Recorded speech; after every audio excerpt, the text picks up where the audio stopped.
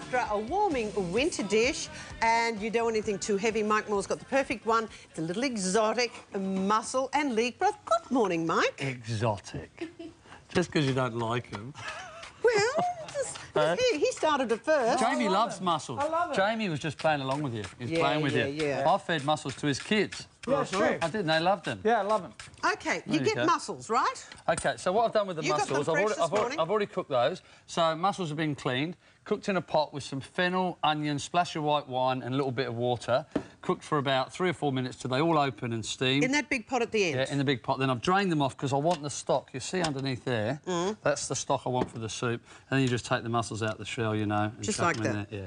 And okay. we finish the do you soup get with them? those. so you buy them closed from the um, fish shop, Yep. Right? How do you know they're okay? Is there a Well, dead giveaway well, to one that's not? Well, you can really smell a bad mussel. Anything seafood, people say, how can you tell fresh fish, fresh prawns? I reckon you can just see it. You can smell, can't you? You're you an expert, though. Yeah, but you've got... I don't think you need to be an expert to get that smell of freshness. Hmm. If there's a bad mussel in there, you, there's no grey area. You can smell it, you Okay. know? Do you have to debeard them or anything? Yeah, um, you can buy them now that are that, like they're sealed in a bag, like vac pack. They should shave like That- the rest of us. And they're all yeah. They're... You shave well. Stop it. Too much information. Oh, no.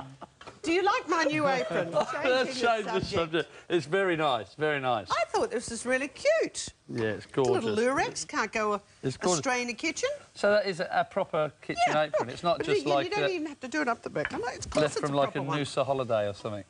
That's why they're wearing Noosa, all that leopard skin and gold stuff, don't they? In the kitchen. Pinnies from here. then. They're gorgeous. It's Yeah. gorgeous. Okay, what are you doing now? Okay, so I've got my garlic, onions and bacon and giving it a really good fry and some butter Mm. and then finely shredded leek. You see all that? So you got these flavours, you can't really go wrong. You're going to end up with something that tastes delicious. Mm-hmm. A little pinch of saffron in there just to give it a little bit of a, a And why have you just got the um, egg I'm going yolks? to use that to thicken. At the end of it, we're going to cook it and then during the break I'm going to add cream and egg yolks and stir it in and, And where did all it. this go? It's in there and it's going in there as well. It's not very nice. You won't like it. I'm going to add a s I promise you. I'll let you know. I've already had a swig. it's not. It's not the best. And what's this here? Uh, potatoes. Okay. So okay. So I've In got the next my. four minutes, what are we doing? Okay. Saffron, garlic, leeks, and bacon in there, and I'm going to put the stock in there. What do you reckon? Nothing wrong with it. We obviously have different expectations. I'm trying to be polite there. Okay, you whacked all that in Okay, there. so that's going to come to the boil. Now I've got cooked potatoes there, but normally I'd mm. put raw potatoes in, but we haven't got time to cook it. Okay, So I'm then. going to put my cooked potatoes in. That's going to simmer away. Then when mm-hmm. we come back after the break, mussels are going to go in, eggs and cream are going to go in. It'll thicken up, parsley, be delicious, and you'll be converted. Sensational.